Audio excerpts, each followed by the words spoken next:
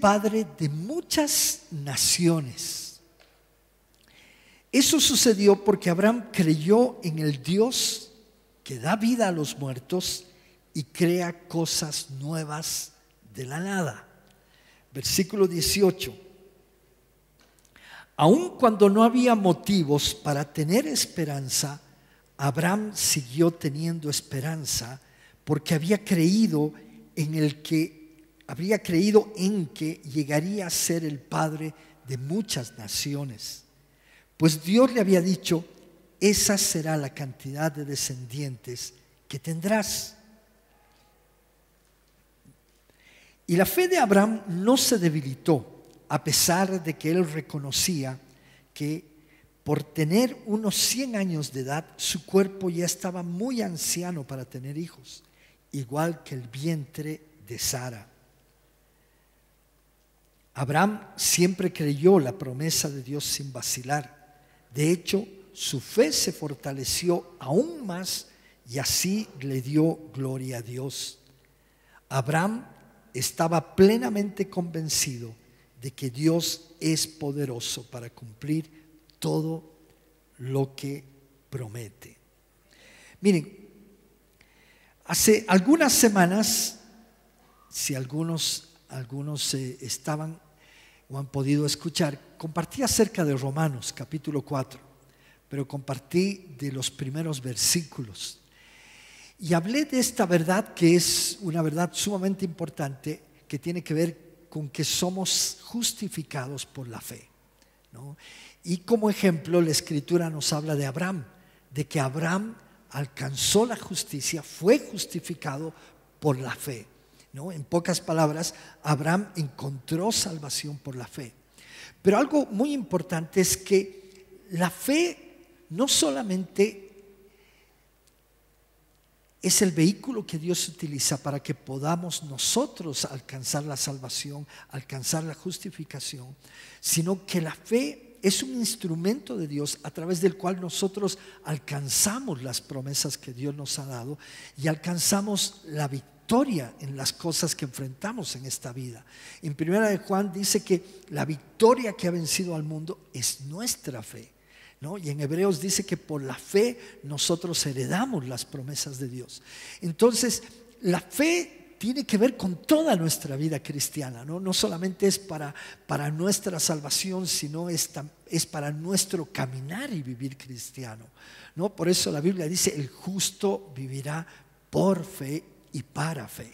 Ahora, en los primeros versículos yo les compartía eso acerca de Abraham, de que Abraham fue justificado por la fe, pero a partir de este versículo 17 nos habla de cómo él alcanzó la promesa que Dios le dio. Y Dios le dio una promesa a, Abraham. Dios le dijo, te voy a dar descendencia. Ahora, tal vez para algunos dicen, ah, esa promesa en realidad es para todos. Sí, pero Abraham tenía algunos inconvenientes, por eso es que esta promesa ¿no? es una palabra muy, muy fuerte de parte de Dios, ¿no? porque como dice lo que hemos leído en la escritura, ¿no? Abraham tenía aproximadamente 100 años, ¿no? era, era un anciano, ¿no? Y Sara, su esposa, además que era, era ya una anciana, también tenía, si Abraham tenía como 100, Sara tenía como 90, ¿no? Pero el otro problema de Sara es que Sara era estéril, no podía tener hijos, ¿no? Entonces, imagínense, ¿no? Eh, Dios les da esa promesa en medio de estas circunstancias tan adversas. Y por eso quiero, quiero que vayamos al versículo 17 para irlo leyendo nuevamente. ¿no? Eh, dice que, bueno, las escrituras se refieren, citan lo que Dios le dijo, te hice padre de muchas naciones, ¿no? Esa es la promesa. Y dice, esto sucedió porque Abraham creyó en el Dios que da vida a los muertos y crea cosas nuevas de la nada. Miren, Aquí la palabra nos dice que Abraham le creyó a quién? Le creyó al Dios Todopoderoso. al Dios del cual en este versículo nos da dos características. Es un Dios que da vida a los muertos y es un Dios que crea de la nada cosas nuevas. Esto es algo tremendo. ¿No? Muchos, de, muchos hemos escuchado tal vez el dicho que dice, eh, todo se puede solucionar menos la muerte. ¿no? Yo lo he escuchado muchas veces, pero nuestro Dios es un Dios para el cual ese dicho no funciona, porque Él aún da vida a los muertos. Y el testimonio de eso es que Jesucristo resucitó al tercer día. Y hay muchos testimonios en la palabra y a través de la historia de gente que ha resucitado, como Lázaro. ¿Por qué? Porque el Dios al cual servimos es un Dios poderoso. Él puede dar vida, ¿no? Aún a los que están muertos. Y segundo, Él crea cosas nuevas de la nada. Es más, todo lo que vemos, el universo, toda la creación, fue hecha por Dios de la nada. Nuestro Dios es poderoso.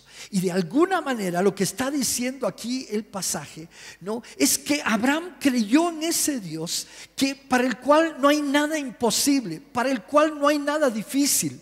No, si lo de Abraham era complicado, era imposible, era difícil porque ya era anciano, su esposa era estéril, para Dios no hay problema. Porque el Dios al cual seguimos, el Dios en el cual creemos, es un Dios todopoderoso. Amén. ¿Sí?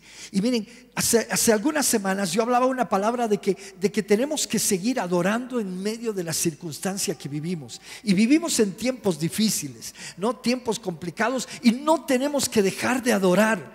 ¿No? Porque nuestra adoración es, es, la razón por la cual vivimos y además nuestra adoración es uno de, una de las armas más tremendas que Dios nos ha dado.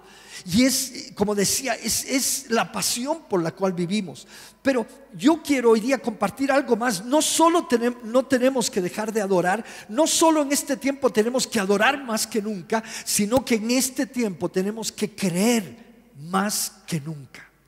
Porque Dios nos llama a ser un pueblo que le cree a Dios, que cree en las promesas de Dios, no cuando todo está bien, sino cuando todo es adverso cuando todo está mal. ¿no? Es muy importante que entendamos esto. Miren, estamos viviendo una hora difícil para el mundo entero, pero el cielo no está en crisis. Y lo hemos dicho eso varias veces en este tiempo. ¿no? El reporte del cielo en este momento es que el cielo no está en crisis, no hay pandemia en el cielo, no hay cuarentena. ¿no? En el cielo Dios sigue gobernando y reinando. Y nosotros somos ciudadanos de los cielos. Y en este tiempo tenemos que creer más que nunca y entender que en los momentos difíciles es cuando Dios más se glorifica. Él dijo hace mucho tiempo, yo edificaré mi iglesia y las puertas del infierno no van a prevalecer en contra de ella. En pocas palabras, las puertas del infierno no la van a detener. Y si el infierno mismo no puede detener la iglesia, menos la va a detener. Una pandemia, un virus, nada puede detener lo que Dios se ha propuesto hacer en tu vida y en la iglesia. En este tiempo nosotros hemos estado usando una frase que la han debido ver en las redes, ¿no? Y es la iglesia no se detiene. Y eso es una verdad muy importante. No es que de pronto Dios ha prometido grandes cosas para, para su iglesia, para ti, para cada uno de sus hijos, y de pronto el Señor dice, pero mucha, no sabía que el 2020 iba a venir una pandemia, no sabía que esto iba a continuar hasta el 2021. Chicos, esperemos que esto pase, hasta mientras estén tranquilos, cuídense, eh, eh, no sé, preocúpense en otras cosas.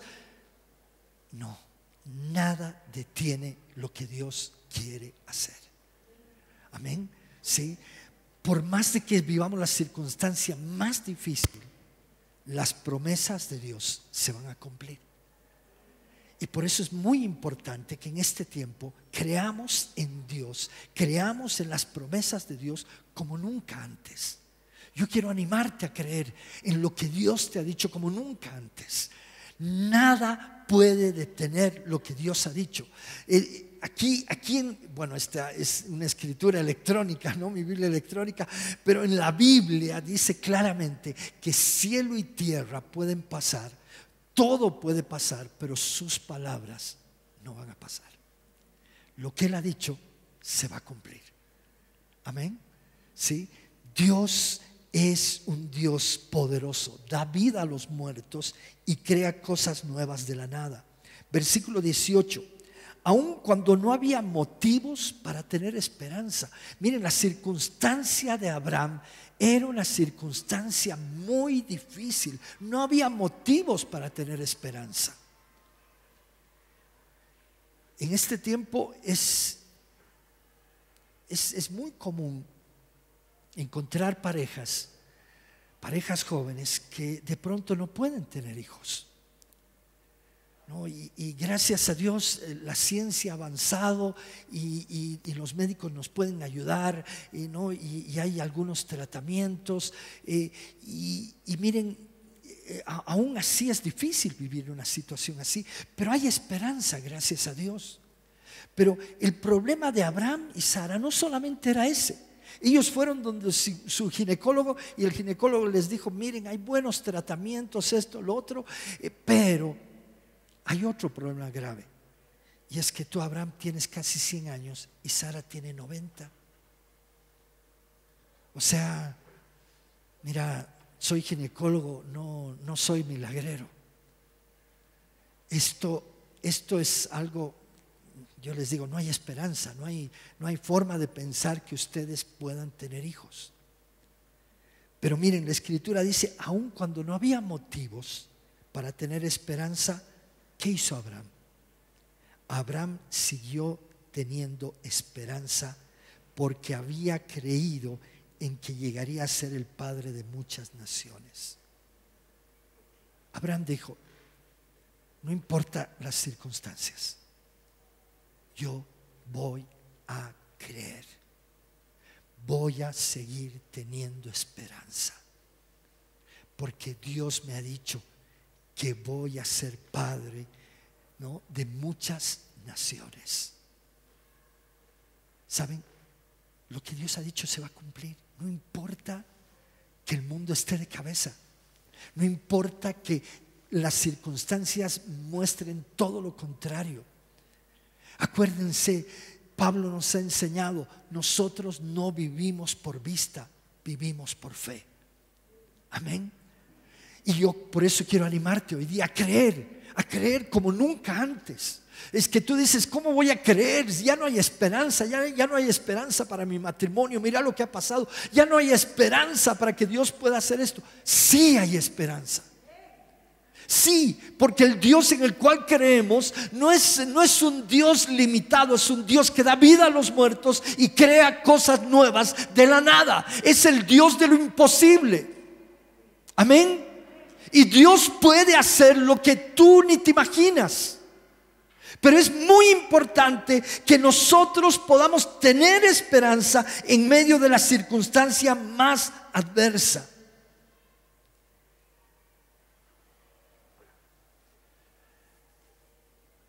Mi pastor cuenta esta historia, ¿no? se la he escuchado muchas veces y cada vez que la cuenta inspira mi vida.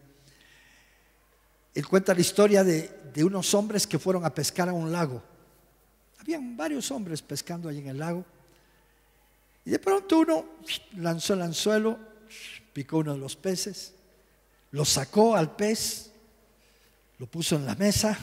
Bueno, no había una mesa, digamos que había una mesa como esta sacó su, su, regla, midió 40 centímetros, lo tiró al agua. Volvió a lanzar, otro pez picó, lo sacó, midió 50 centímetros al agua. Volvió a pescar otro, lo sacó, lo midió 60 centímetros, lo tiró al agua. Y el que estaba al lado de él lo miraba así como, hasta que al final le dice, oiga, ¿Qué, No entiendo lo que está haciendo. Yo estoy el mismo tiempo que usted y no he podido pescar nada. Y usted ha pescado varios peces y los mide y los vuelve a tirar al agua. No entiendo. Y le dice, es que mire, lo que pasa es lo siguiente. El primer pez que pesqué medía 40 centímetros y lo tiré al agua por eso. El segundo pez medía 50 y también lo tiré al agua. El tercer pez medía 60 y también lo tiré al agua. Porque lo que pasa es que yo en mi casa tengo un sartén de 20 centímetros y no entra ninguno de esos peces.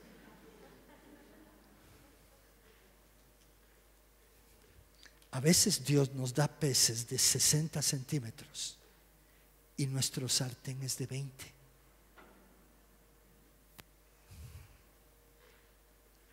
A veces Dios nos habla cosas que decimos, no, mi sartén dice que no,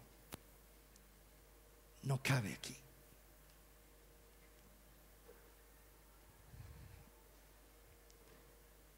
Dios quiere hacer cosas grandes con tu vida. Dios quiere hacer cosas grandes con su iglesia. Yo estoy seguro de esto.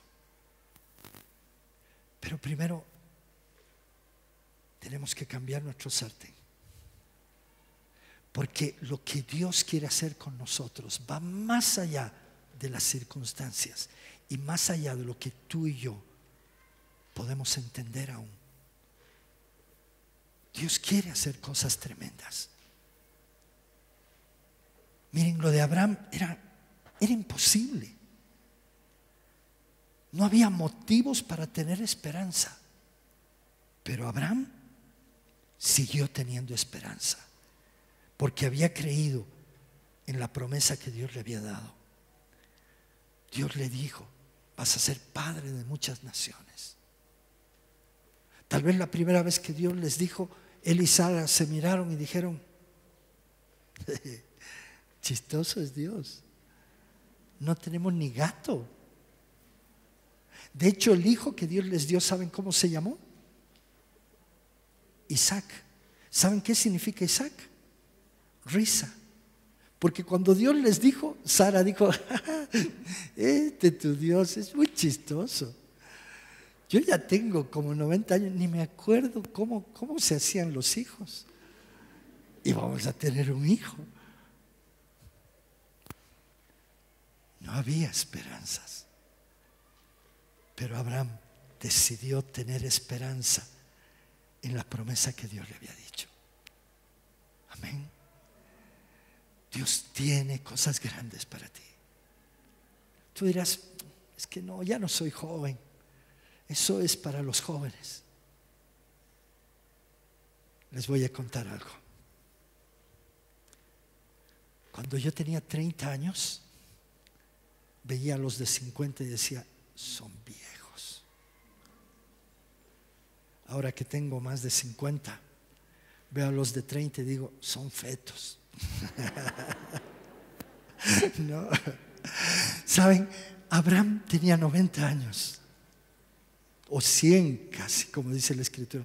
Si tú tienes 80 y dices, no, esto es para los jóvenes, Abraham que tenía 100 te ve y dice, eres chango, eres joven. Dios puede hacerlo contigo.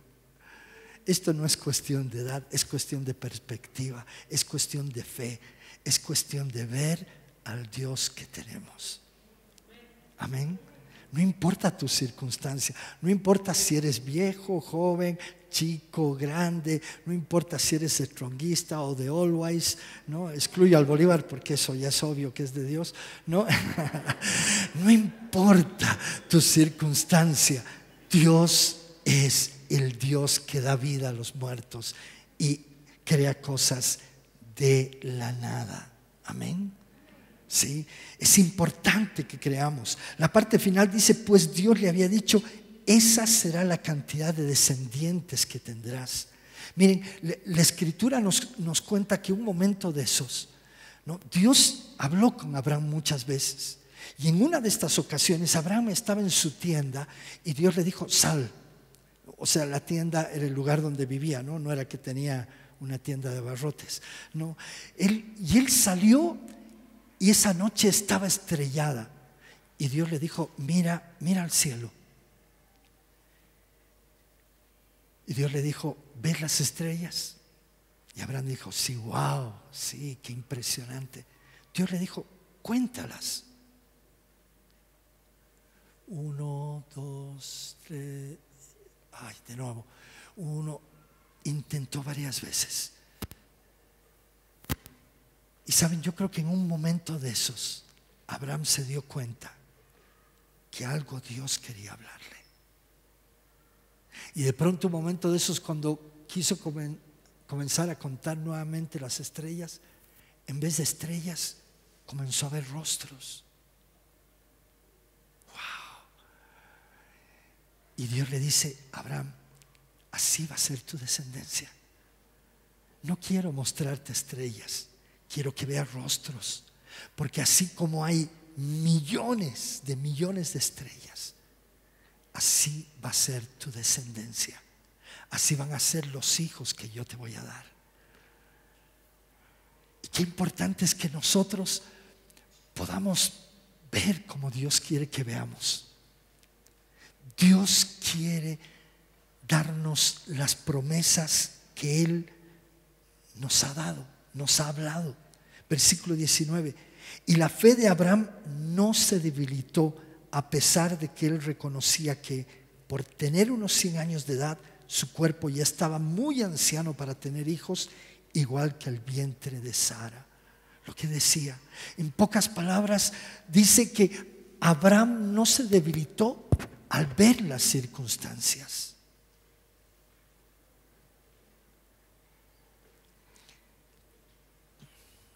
Y miren, vivimos en este mundo, no podemos salirnos de este mundo, vivimos en él.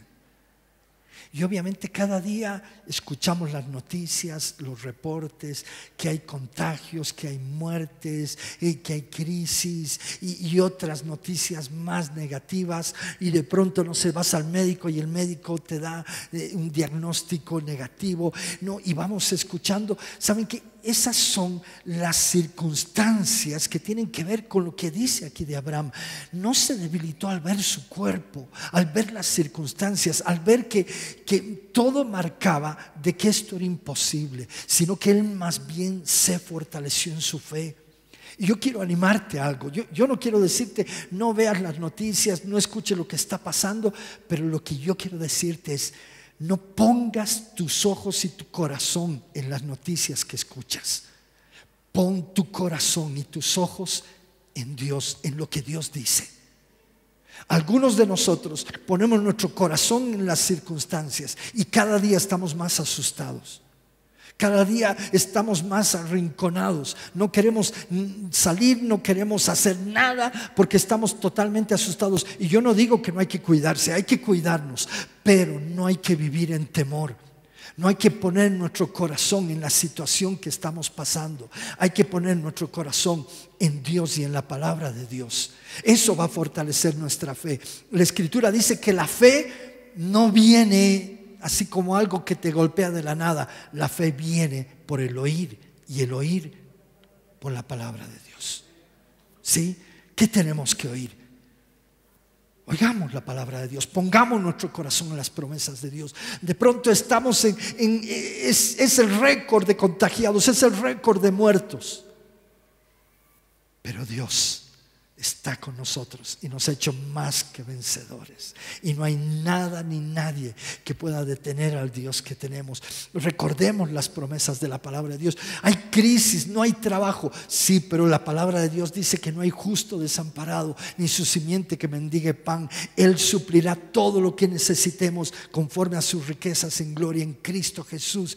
Esa es la verdad. Las circunstancias, lo que vemos a nuestro alrededor, no es lo que tiene que llenar nuestros corazones, sino la palabra de Dios es la que tiene que llenar nuestros corazones. Amén.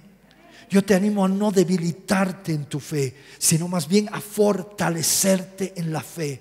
No dejes que las circunstancias controlen tu corazón.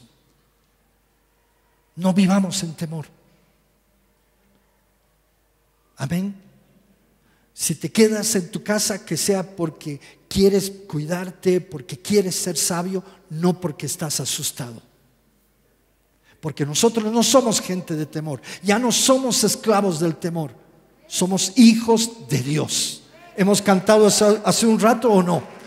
Ya no vivimos en temor. Ya no vivimos en temor. Dios es nuestro Padre. Y miren, es tan tremendo esto que nos puede pasar lo más terrible. ¿Qué puede ser lo más terrible que nos pase? ¿Que te mueras? Pablo dice, para mí el morir es ganancia. O sea, lo más terrible es lo mejor que nos puede pasar. Porque lo mejor que nos puede pasar es estar con el Señor. Entonces, no hay que temer. Vuelvo a repetir, no digo que no hay que cuidarse, hay que ser sabios, pero no hay que vivir en temor, hay que vivir en fe. Este tiempo es el mejor tiempo, porque lo que Dios ha prometido se va a cumplir. Amén. Sí, este es el mejor tiempo, porque, ¿saben? Si tú quieres saber si tu barco funciona, el mejor tiempo es cuando hay tormenta, cuando hay mucha agua. Ese es el mejor tiempo. Este es un tiempo de prueba, pero es maravilloso porque es tiempo para creer como nunca antes. Es tiempo para adorar como nunca antes. Es tiempo para que, como nunca antes las naciones, las ciudades, los hogares se llenen de alabanza y de honra al Señor. Este no es tiempo para que la gente se cuestione de Dios, reniegue contra Dios, viva en amargura, viva en temor, viva en tristeza. Este es tiempo para que Dios sea glorificado como nunca antes. Amén. Sí, tenemos que creer como nunca antes. Versículo 20. Abraham siempre creyó la promesa de Dios sin vacilar. Yo te animo, cree. No es caro creer, es gratis. No pierdes nada creyendo. Cree, cree en lo que Dios ha dicho. Amén. En la palabra de Dios nos dice que hubieron muchos hombres que creyeron hasta el día de su muerte y murieron sin recibir lo que creyeron. Pero ¿saben qué? Lo tremendo es que creyeron. La victoria no está en recibir lo que, lo que tú esperas recibir de Dios. La victoria está en creer. Esa es la victoria. Vivir creyendo. Y si de paso recibimos lo que Dios ha prometido, wow, mucho mejor. Pero lo importante es vivir creyendo, porque la mejor forma de vivir, la mejor manera de vivir esta vida es creyendo. Amén. ¿Sí? De hecho, la Biblia dice que sin fe es imposible agradar a Dios. ¿Quieres agradar a Dios? Cree. El, final de este versículo dice, de hecho su fe se fortaleció aún más y así le dio gloria a Dios. ¿Saben cómo vamos a dar gloria a Dios? Creyendo. Creyendo. Amén. Y de hecho Hebreos 11 nos dice que, que muchos personajes ¿no? de la historia, hombres y mujeres, de diferentes ¿no? tiempos, recibieron lo que prometieron, taparon boca de leones, conquistaron imperios, ¿no? hicieron grandes cosas, recibieron las promesas de Dios por la fe. Amén. Este es tiempo de creer. Este es tiempo de creer como nunca antes. Versículo 21. Abraham estaba plenamente convencido de que Dios es poderoso para cumplir todo lo que promete. Cuando Dios promete algo, Dios lo cumple.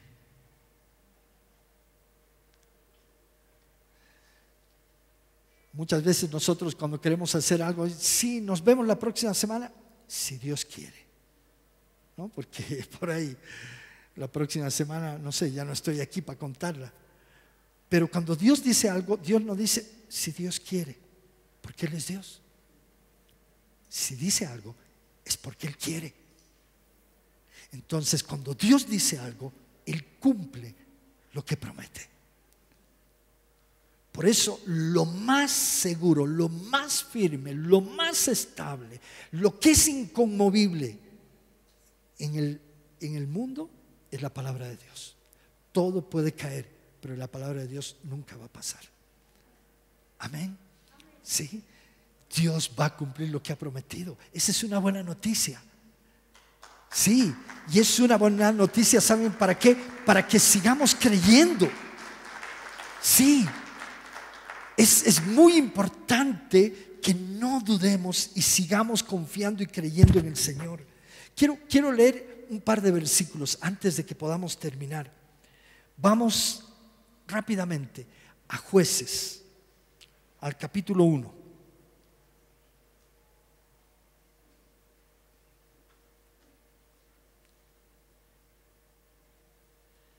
Jueces capítulo 1.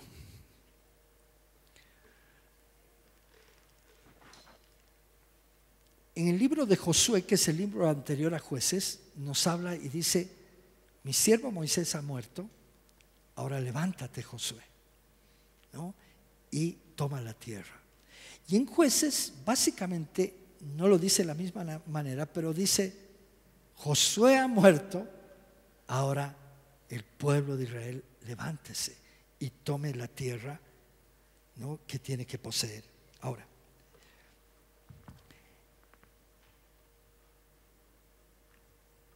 perdón, estoy buscando el versículo junto con ustedes. Aquí está. Y quiero leer una parte. Judá se levanta para, para pelear contra los cananeos y tomar la tierra que Dios les ha prometido. Y ellos eh, agarran a un rey con el que luchan, ¿no? que es Adoni Besek. Y yo quiero que tomemos nota lo que él dice, porque quiero agarrar un momento esto. Dice, una vez yo tuve 70 reyes sin los pulgares de las manos y los dedos gordos de los pies, comiendo migajas debajo de mi mesa. Quiero que nos detengamos ahí. Si quieren saber qué es lo que pasa en esta historia, léanla, ¿no? Pero básicamente lo que sucede es que los de Judá le cortan los pulgares y los dedos gordos del pie a este rey. Y este rey se acuerda y dice, yo he hecho lo mismo con 70 reyes. Pero lo que a mí me llama la atención y quiero, y quiero resaltar en esto es que este rey dice, he tenido 70 reyes comiendo las migajas que caían de mi mesa. Ahora, se supone que un rey no debería vivir así. Si estos reyes vivieron comiendo las migajas que caían de la mesa de este rey, es porque esos reyes fueron doblegados por su enemigo. La Biblia dice que tú y yo somos reyes y sacerdotes. Pero lamentablemente podríamos decir que se ven muchos reyes comiendo de las migajas que caen de las mesas de otros. Dios no te llamó para comer de las migajas que caen de la mesa de otros. Si Dios te llamó y te dijo eres rey, es para que tú reines. ¿O no?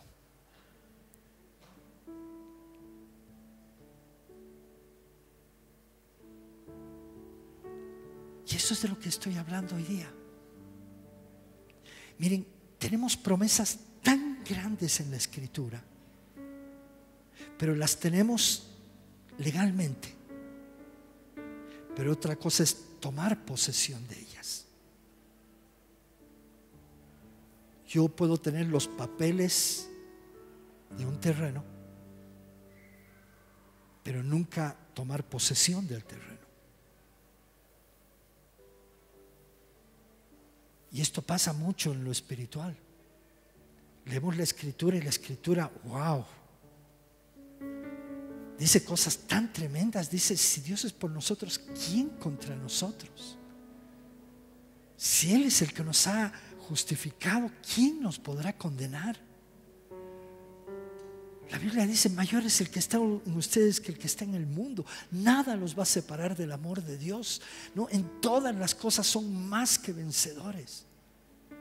Tenemos legalmente todo eso.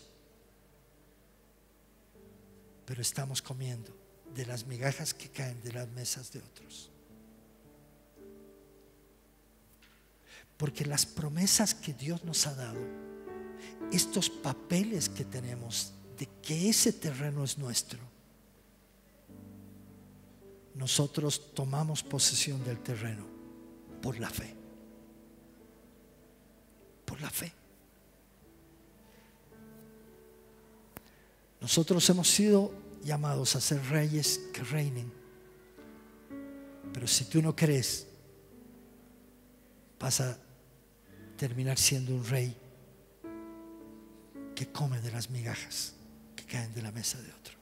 Me dejo entender. Por eso yo quiero animarte hoy día, iglesia. Este es tiempo de creer como nunca antes. Porque el Dios que tenemos no es un Dios así de miniatura. Para los que son de aquí de La Paz, no es un Dios de alacita, un Dios pequeñito. Es el Dios que da vida a los muertos y que crea cosas nuevas de la nada. Es el Dios de lo imposible. Es el Dios que hace cosas grandes y tremendas. Es el Dios que la Biblia dice es el mismo ayer, hoy y por siempre. Es el Dios que sigue haciendo maravillas. Amén. Sí, este no es tiempo de jubilarnos, no es tiempo de estar en pausa, no es tiempo de estar ahí asustados y metidos en nuestra cueva. Es tiempo de ver la gloria de Dios como nunca antes. Es tiempo de creer. Amén. Quiero animarte a creer. Mi palabra hoy día es esa. Quiero animarte a creer. Si Abraham pudo creer con las circunstancias tan adversas que tenía, tú también puedes hacerlo. Amén. Y Dios puede hacer milagros en este tiempo. Y los está haciendo. Quiero pedirte que te pongas de pie. Aquí y si estás ahí en tu casa, ponte en pie. Vamos a orar. Vamos a orar.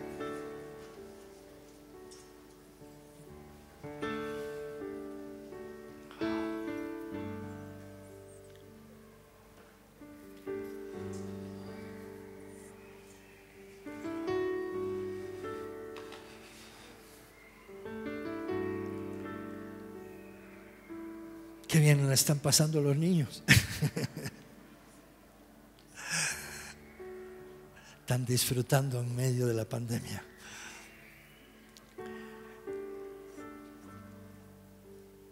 Cierra tus ojos. Te pido que cierres porque no quiero que te distraigas con lo que está pasando alrededor tuyo.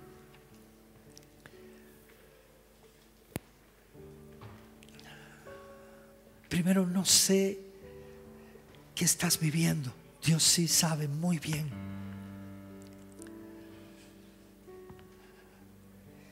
Tal vez estás viviendo situaciones muy difíciles y no ves una solución para lo que estás viviendo. La palabra dice que Dios abre puertas que nadie puede cerrar. Y Dios abre caminos donde no los hay.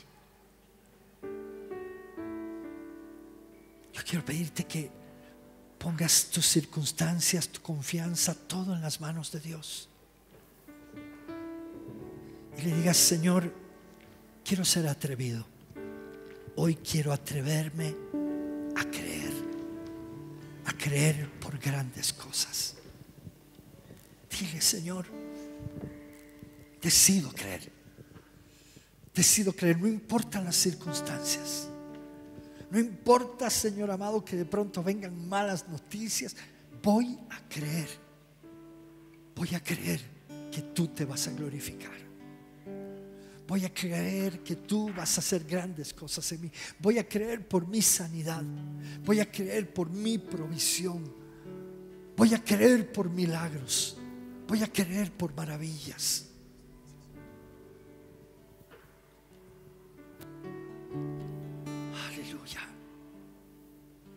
Anímate a creer. Anímate a creer.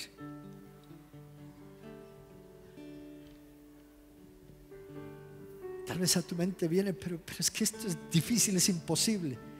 Esa es la idea. Esa es la idea. Esa es la idea. Estoy hablando de eso. De que cuando algo no tiene motivos para tener esperanza, es cuando tú tienes que tener esperanza. Es cuando tú tienes que creer. La iglesia no se detiene. El Espíritu Santo no se ha detenido. Dios sigue avanzando con sus propósitos. Dios sigue cumpliendo sus promesas. La palabra de Dios sigue haciendo lo que Dios ha enviado ¿no? para que la palabra pueda hacer. Cree, yo te animo a creer. Y tal vez si hay alguien que nunca le ha entregado su vida al Señor, Tal vez tú nunca has creído por tu salvación. Yo quiero decirte algo. Jesús murió en la cruz del Calvario por tu salvación. Jesús murió en la cruz del Calvario para que tú puedas tener perdón de pecados. Jesús murió en la cruz del Calvario para que tú puedas encontrar vida y vida eterna, vida en abundancia.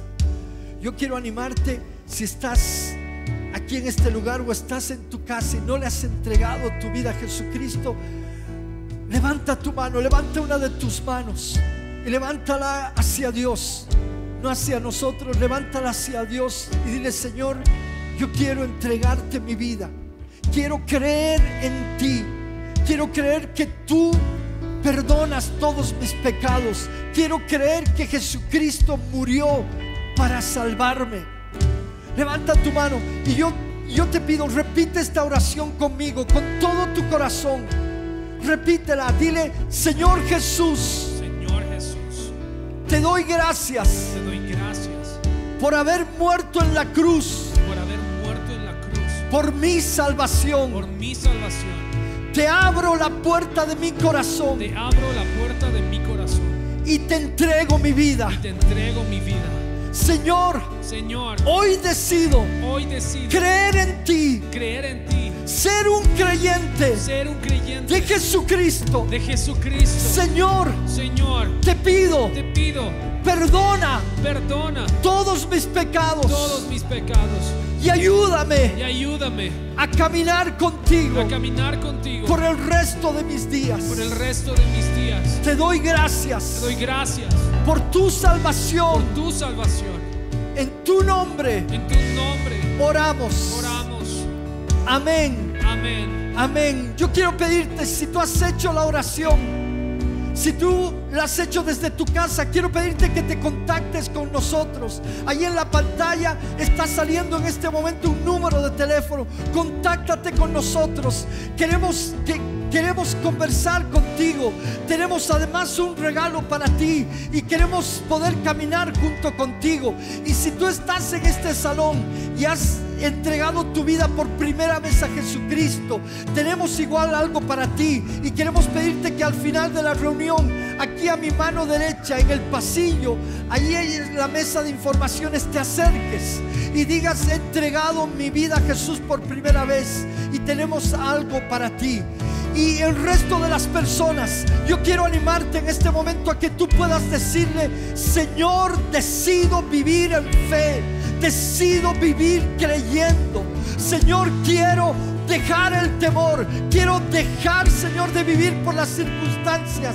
Quiero vivir por fe, quiero vivir creyendo en el Dios que da vida a los muertos, en el Dios que crea cosas nuevas de la nada. Señor, creo que tus palabras, tus promesas se van a cumplir en mi vida. Creo que este es un tiempo glorioso y creo que te vas a glorificar en nosotros mucho más allá de las circunstancias. Te vas a glorificar en nuestras vidas. Señor, gracias porque tu iglesia nada la detiene, porque tú la has levantado con tu sangre, con tu propia vida. Gracias, Señor, porque lo que tú has dicho se va a cumplir, Señor. Decidimos creer en el nombre de Jesús. Amén.